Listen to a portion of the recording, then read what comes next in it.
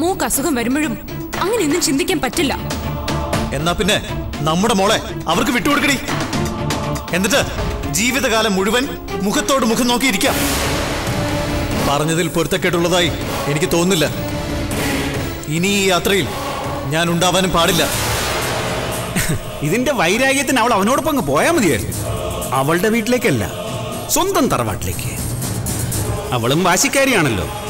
മുത്തുമായി ഇനി മുത്തശ്ശനോടൊപ്പം താമസിക്കാം എന്ന് അവൾ തീരുമാനിച്ച നമ്മൾ രക്ഷപ്പെട്ടു. ഇത്തരം സന്ദർഭങ്ങളിൽ മുതിർന്നവർ വാശി കാണിക്കാതിരിക്കുന്നതാ നല്ലത്. ആഹ്ലാദിക്കേണ്ട പ്രായമാണ് നിങ്ങളുടെ മകളുടേത്.